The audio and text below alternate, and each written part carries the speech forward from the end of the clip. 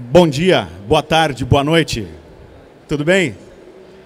Uh, pessoal, muito obrigado pela presença de vocês todos. Meu nome é Jefferson Studes, eu faço parte da Triton South America e temos aqui hoje um convidado muito especial, provavelmente uma das palestras mais esperadas do ano, Dr. Essan Dasti, o fundador e CEO da Triton Applied Reef Bioscience, uma empresa que vem fazendo grande uh, avanços para o aquarismo marinho. Uh, aqui junto com a gente também está o Julian Baggio, recente aquisição do time Triton. Julian? Uh, Julian, 20 anos, biólogo marinho, especialista em uh, é, é, problemas com corais, 20 anos de Cairns Marine e está trazendo todo esse seu conhecimento para dentro da Triton. Fiquem com o Dr. Sandaste, por favor. Vou tentar traduzir um pouco para vocês de tudo isso aqui para que vocês consigam capturar o máximo de informação possível, ok? Isan, my pleasure. Thanks a lot. Thank you. Thanks a lot. So I have not understand anything. Give me yours. Give me yours. I have uh, sadly not understand too much, but I think it was nice. I think it was nice. Okay. Thanks a lot for inviting me here. I feel very honored um, to be here in Brazil. I try to talk a bit slower, so whenever you have a question, you can just ask, and um, actually, Jefferson will jump in and try to explain it in, um, in uh, Portuguese. Qualquer dúvida que vocês tiverem, mesmo durante a apresentação, vocês podem levantar a mão dirige a pergunta em português para mim. Se quiser fazer inglês, tudo bem, eu vou traduzir para português e o Dr. Essan vai responder. A palestra é rápida, é uma palestra de 25, para a gente ter mais tempo, inclusive, de perguntas e respostas depois, ok? Yeah. We'll, we'll let it flow a bit. Yeah. And, but if there's something important you want to ask, just ask. I don't have a problem with that, okay? Um, afterwards, I hope you have a lot of questions. I wasn't sure about the audience that I have here. So um, I can see a lot of industry people, but I can see a lot of reef keepers here, like hobbies.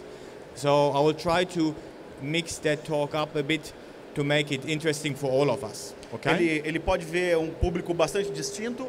Alguns de vocês já conhecem como empresários, uh, donos de negócios no aquarismo, uh, e outros provavelmente uh, hobbyistas de aquário, aquarismo marinho. Então ele vai tentar adaptar e colocar exatamente questões para todos os públicos.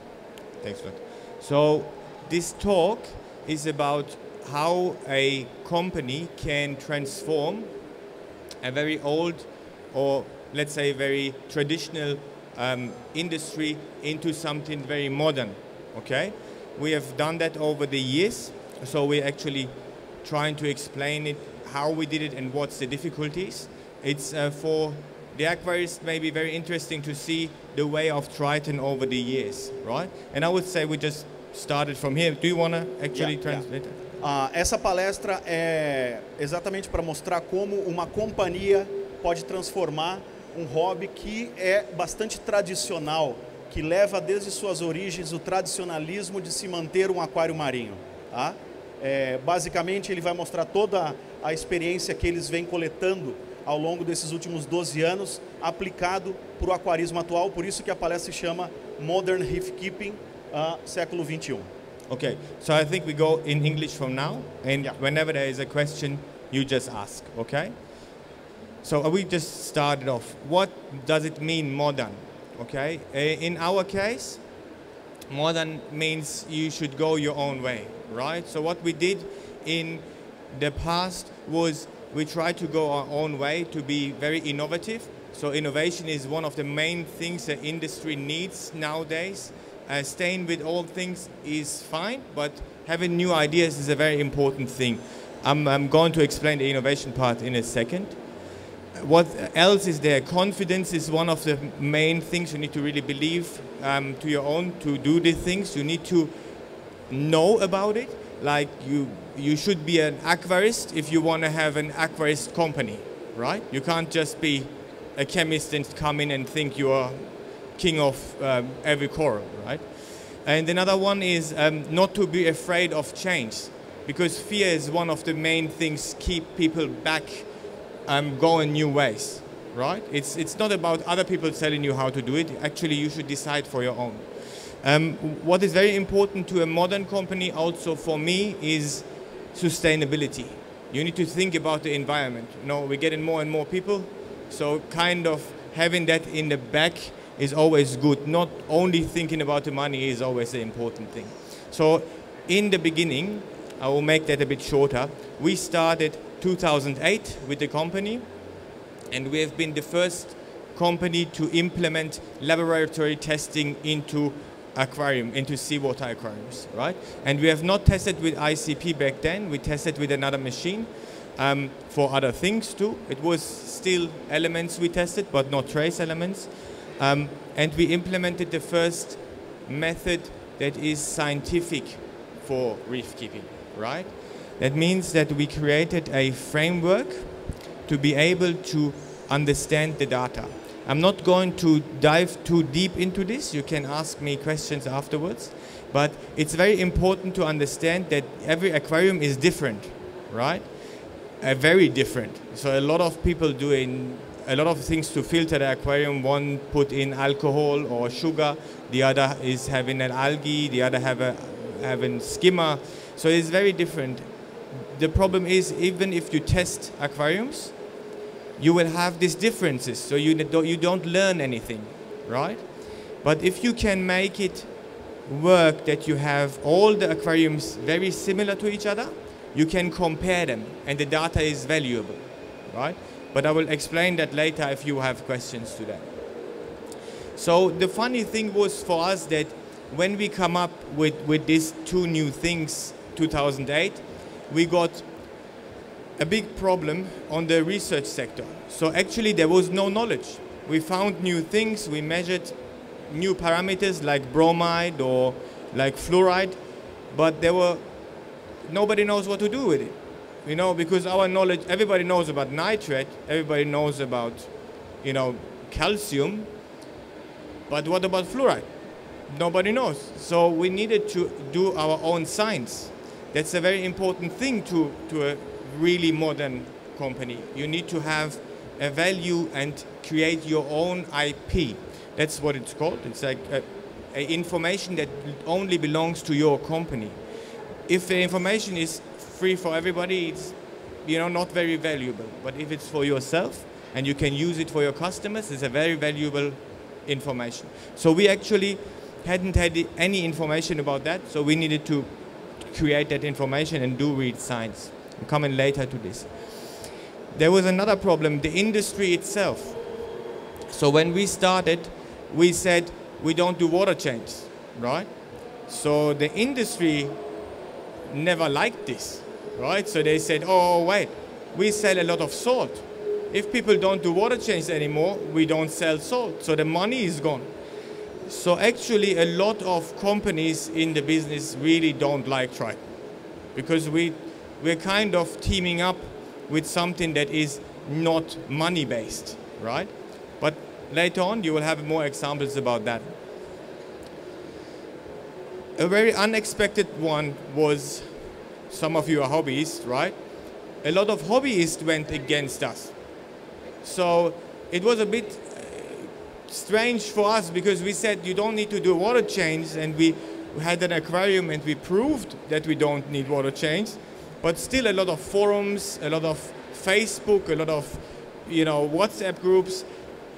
The people just said, "Oh no, no, no, no, it's not working. You're lying. You lied to me. We need water change."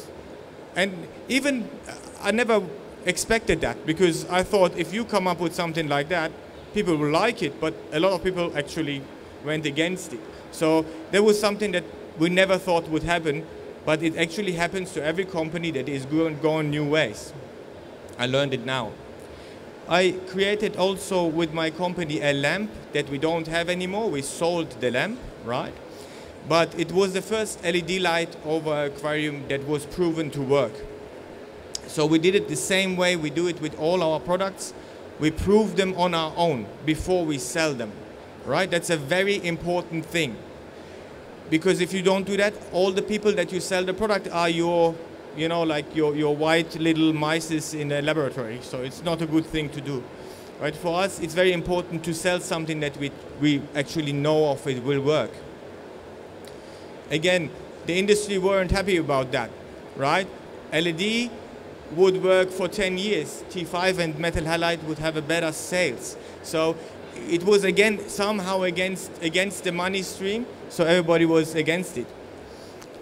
The other guys, the hobby was very very strange in that point. So a lot of hobbyists came to our facility and looked at the tank, and they saw this LED of our aquarium, and they just don't believe it. They said we would take it away in the night and put another lamp on there. This is what they said. But okay, it's up on them, right? Just, just an example. So 2012 was the year where we implemented ICP OES. We were the first ones. We developed it. And we created the method to actually measure it. It's very difficult to measure trace elements in seawater. And we created a very, very um, what is uh, targeted trace element supplementation. That means that you could the first time not just put in something in your aquarium, you could actually see it. Exactly like you see calcium and alkalinity and you measure and you replace, exactly the same thing you could now do with, with trace elements. Actually, since quite a time now in Brazil too, right? So it was always important for us that the, that the hobbyist understand what he's doing. It's very important because that's success, right? With this, we got a lot of success and we got also a lot of big problems because nobody knows about trace elements, right? Nobody before us could measure them. There is no books written about them. There is no information in forums. Nobody actually knows about them. So we needed to find out for ourselves what is good for an aquarium and what not. How much vanadium is needed how much vanadium is dangerous, how much beryllium is dangerous. Nobody knows this, right? So we needed to do a lot of science because it was a lot of information that we, we need to kind of cover, a lot of elements that we measure. I needed to do a lot of science to get this information for you guys. And we did it over the last years, right? The industry had a big problem with that because you could actually see what they sell you, right? So a lot of companies sold little bottles and said, look, that's trace element mix. But no one here, before we made it measurable, could ever see that. So you put it in an aquarium, but you never know what is in the bottle. It was just what is written on the bottle, right? But now that's over. You can actually mix it in, send it to us, and you will see what's in the bottle. So sure, the industry again was not happy about Triton right? The hobbyists again surprised us in the past and they, they said, oh, look, we don't need to know. We don't need to test for trace elements. There's, that's making no sense. It was very strange to me. It wasn't a big amount of people doing that, that back then, but there, this argument was there, and you needed to kind of go against it, you know. So that said, in 2000, 2016, 2016, we brought Core 7, which was the evolution of Balling. Right, Balling was a very working, absolute good method to run a, a reef aquarium, and Core 7 was the evolution. And that was the first time where actually nobody said anything. You know, 2016, nobody, neither the industry or the hobby, was against it. We were very happy but it took eight years. Eight years it took for an innovative company like us. We did so many innovations in eight years to be accepted in a, in a kind. Okay, so whatever you do, even to cats and dogs, and you want to get an innovative company, that will be a big problem. Okay, it's not going to be fast. So that said, after we got accepted, so an, a kind of victory came up, right? So we felt very good with all this. What, what does that mean? So nowadays we have um, really a lot of innovations and, and we are invited in conferences like here. We have testing laboratories around the world and we have distribution in four, four um, uh, continents. And to be honest, the funniest thing we got was that we got accepted, and as soon as we got accepted, we also got copied, right? So that's the best way to find out that you do the right thing, okay? Because other people doing it too. Um, sometimes people think we are angry about that, but we are not at all, because we worked eight years to be copied, okay? That's a really good thing. Um, a lot of people rushed into it, so if you, if you imagine since then, we created a sales of ICP machines of about 3.3 million dollars, Australian dollars. Okay, so it's quite a lot of ICP machines that have been sold.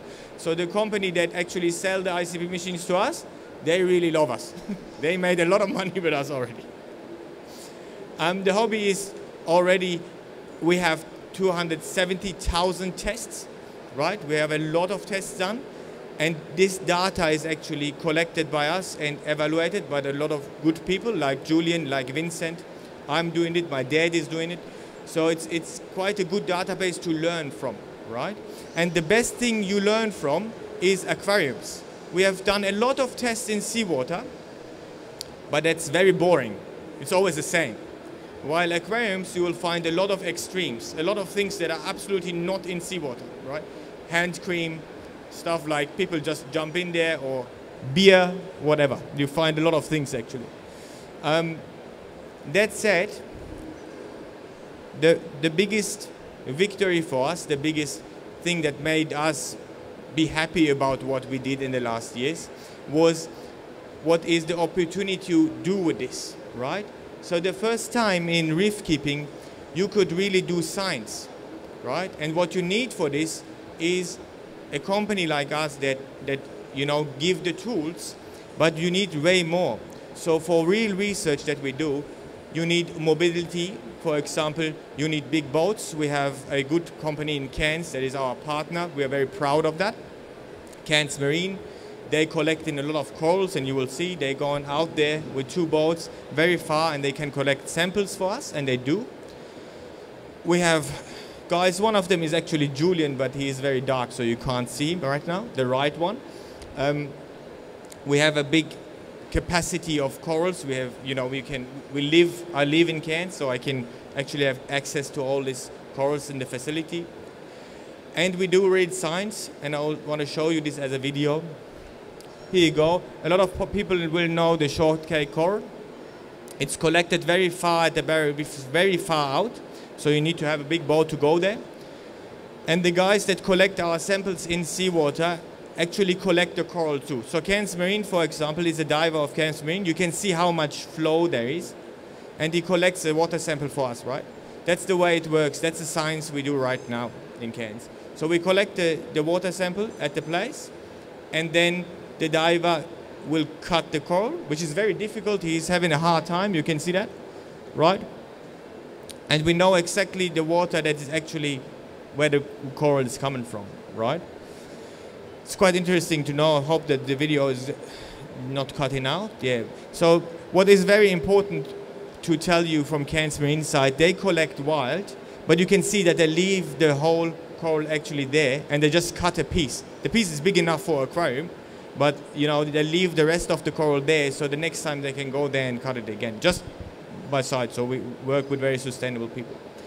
What you also can do, and that's quite heavy is all this science from seawater is actually going into the aquarium science, right? We have a very, very um, good friend of mine and a very long-term partner that's um, the research in the Horniman Museum, Jamie Craggs.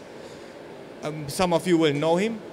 The thing is, I've written a, uh, a paper with him, and um, that's about coral propagation in aquariums, right? So Jamie made it possible to get eggs from Acropora, right? And grow them. That's eggs zero days, right? Just fresh eggs, same Acropora, tenuis. That's one day. That's a polyp swimming in the water. It's Acropora, right? That is the coral with three months. Same coral, same egg, right? And that's the coral after one year, okay? You can see it was 2015, right? That's the eggs and that's the coral. we growed coral out of eggs. Not we not cutted them, right? Nowadays, this is all Triton method, right? Nowadays, we cross corals. So we have created corals that are not existing in seawater, right? I don't have pictures of that. That belongs to Jamie for now, but maybe in the next presentation I will show you some pictures of that, right? And it's very strange because you can cross corals that don't belong to each other, like Millepora and Tenuis, right? It wasn't, wasn't possible before, so it's quite interesting. Um, another thing that I want to tell you about this data is what transformed the industry when you collect data like that, when, you, when you're a company that is modern, you have information that is secret to you, right? So what you need to do is you need to produce on your own. You can't give this information to somebody that produces your product because you will lose the information, right? You need to have a kind of secret to your own company. And to keep this secret, you have other problems that come up. So the next problem is you need to actually produce stuff on your own because you cannot tell and give a recipe to somebody else, right? What is but good because you have another possibility. If you produce on your own, you can decide to produce sustainable. It's okay, this works here. So we produce in a sustainable way. We dropped all the plastic, so it is actually a, a, a very good move from us, in our opinion, to just try to reduce as much plastic as possible. And that machine is in our headquarter in, in um, Germany, and it's actually made for milk, you know that? But, I mean, you know, if you are innovative, you use what you have. So I, I think the Brazilians are very innovative. They're very creative. So it could be a Brazilian doing that. The thing is that we have reduced our plastic amount 95% right? So our output of plastic went down 95%. That's really, really a big step for, for going against plastic. So it's not only bad. Another thing that we did is we did a non-profit um, project against cyanide fishing. Cyanide is quite a bad thing. A lot of people in Asia sadly use cyanide to fish, and um, they kill a lot of fish. I have a lot of, you know, um, yeah, a lot of presentations about that. But we, we did it with Cairns Marine together. Again, something that is very, very against the industry. But okay, it's the right thing we think, so we carry on. It's still in the beginning, so let's see where it ends. And I want to tell you also something about the future. We did NDOC testing, that is actually the next step after ICP. So we never stopped doing innovations. We not stopped 2016. So last year, or two, nearly two years ago, we created NDOC, and NDOC is a testing for the for the ratios that you have in seawater, and um, we also have written a technical paper. If you want to read it, no problem. Just get an email to our guys here in Brazil, and you will get it. Possibly in Portuguese, I don't know, but it's in English and German in the moment. So what we did is we looked at the Redfield ratio. A lot of people will possibly know that, right? The Redfield ratio is absolute, absolute valid ratio but it's not valid in aquariums. Okay? So it's not valid in aquarium water. It's valid in aquarium animals, but not in the water. Right? So if you go for measuring your water, you need to we, we not did really a lot. We went there and measured seawater to see what the ratio is, and it just wasn't Redfield, right? You can read it if you want. So I hope that you understand what I want to tell you is that it's, it's worth doing it. Even it was hard, even it was 12 years of hard work, I think it was worth it because I can see even here in Brazil that a lot of aquariums transforming into the modern into the modern way of reef keeping. I can see a lot of people being more successful, which is very important. You know, so as more successful you guys get, as less we need to take out of the sea. It's a very important thing for us. But you know, success is what we are doing it for. It's happy, making people happy. So I think if even other companies would do that in other industry branches, would be a good thing.